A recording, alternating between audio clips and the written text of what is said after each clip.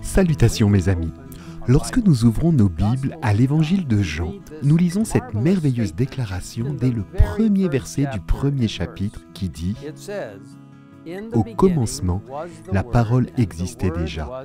La parole était avec Dieu et la parole était Dieu. Quelle belle description de Jésus, le Fils de Dieu et le Fils de l'homme, une fusion parfaite de l'humain et du divin.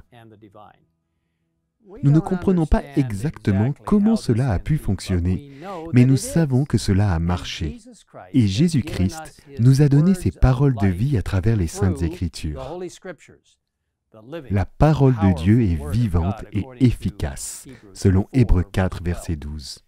En parlant des Écritures, Jésus a dit, Ce sont elles, les Écritures, qui rendent témoignage à mon sujet. Nous trouvons des traces de Jésus dans les 66 livres de la Bible, alors qu'il nous conduit à travers les 39 livres de l'Ancien Testament, histoire, loi, sagesse, poésie et prophétie. Nous le voyons clairement, Jésus-Christ, à travers les 27 livres du Nouveau Testament, les évangiles, l'histoire de l'Église primitive, les lettres de l'apôtre Paul et les autres lettres et la prophétie de la révélation de Jésus-Christ. Dieu la lui a donnée pour montrer à ses serviteurs ce qui doit arriver bientôt. En fait, la Bible est le message de Dieu donné à l'humanité, dans le langage de l'humanité, par des hommes qui ont été divinement inspirés, comme l'explique 2 Pierre 1 au verset 21. C'est poussé par le Saint-Esprit que des hommes ont parlé de la part de Dieu. Ainsi, dans un sens, les Écritures sont cette précieuse parole de Dieu, sont semblables au Christ, en ce qu'elles sont une combinaison du divin et de l'humain. La Bible est le message de Dieu pour nous, écrit dans un langage humain, rédigé par des hommes divinement inspirés par le Saint-Esprit. Les saintes écritures sont le fondement sur lequel nous basons toutes nos croyances en tant qu'adventistes du septième jour. C'est pourquoi notre première croyance s'intitule Les saintes écritures, qui se lit comme suit. Les saintes écritures, l'Ancien et le Nouveau Testament sont la parole de Dieu écrite, communiquée par inspiration. divine au moyen de saints hommes de Dieu qui ont parlé et écrit sous l'impulsion du Saint-Esprit. Dans cette parole, Dieu a confié à l'homme la connaissance nécessaire au salut. Les saintes écritures constituent la révélation infaillible de sa volonté.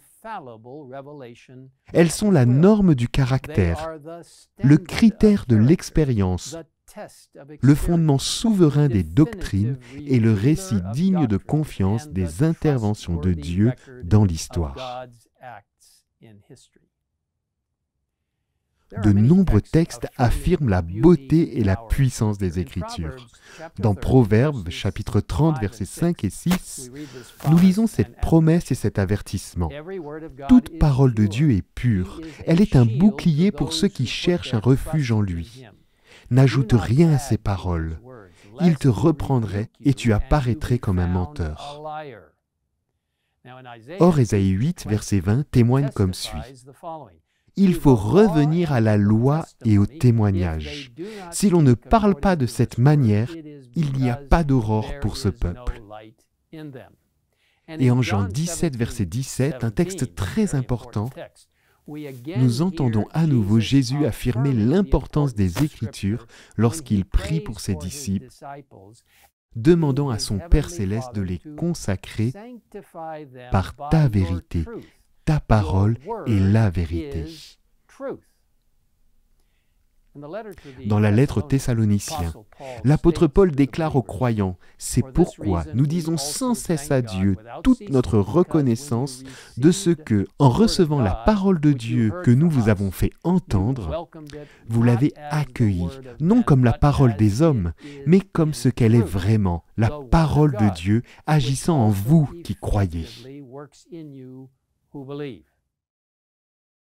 Oui, mes amis, la Bible est véritablement la parole de Dieu pour nous. Elle nous révèle sa vérité et nous rapproche de lui lorsque nous suivons ces conseils divins exposés dans ces précieuses pages.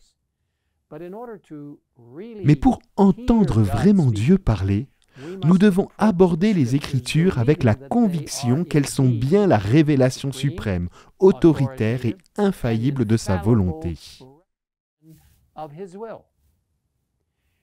Dans le livre La tragédie des siècles, nous recevons un avertissement. J'espère que vous connaissez ce livre qui est si merveilleux.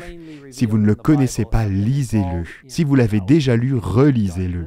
Le texte dit ceci les vérités le plus clairement révélées dans les Écritures ont été mises en doute par des savants qui, s'attribuant une grande sagesse, enseignent que les Écritures ont un sens mystique, secret, spirituel, qui ne paraît pas dans le terme employé. Ces hommes sont de faux docteurs. C'est à eux que Jésus dit, Vous ne comprenez ni les Écritures ni la puissance de Dieu. Là où il n'y a ni figure ni symbole, il faut donner aux termes de la Bible leur sens le plus évident. Si quelqu'un veut faire la volonté de Dieu, il connaîtra si la doctrine est de Dieu.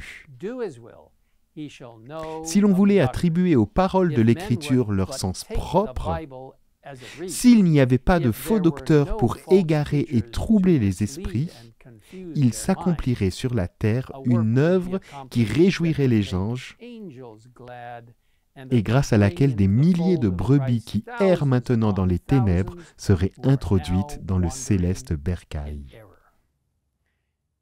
Oui, mes amis, la Bible est effectivement une lampe à nos pieds et une lumière sur notre sentier. Mais nous devons d'abord ouvrir les yeux pour voir clairement la lumière. Si vous souhaitez en savoir plus sur ce que nous, en tant qu'adventistes du septième jour, croyons à propos des Écritures, je vous recommande deux ressources.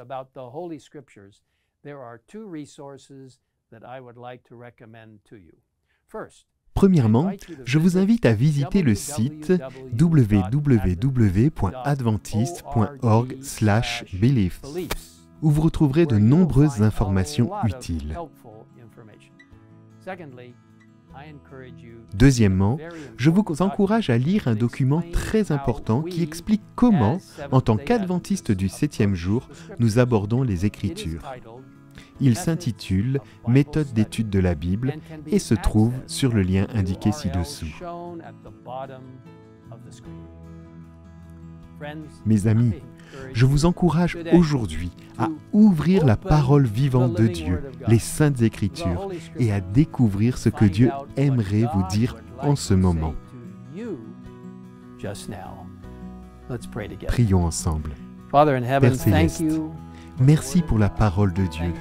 Merci parce que nous pouvons ouvrir la parole de Dieu. Merci parce que lorsque nous lisons la parole de Dieu, nous avons d'abord besoin de demander ta direction par la prière. Et merci parce que par le Saint-Esprit, tu nous révèles des vérités qui ne sont pas seulement celles qui sont sur le papier, mais qui deviendront absolument pratiques dans nos vies. S'il te plaît, donne-nous des conseils alors que nous étudions la parole de Dieu chaque jour pour comprendre ta direction pour nos vies alors que nous approchons du retour du Christ. Merci de nous écouter dans cette prière. Nous te le demandons au nom de Jésus. Amen.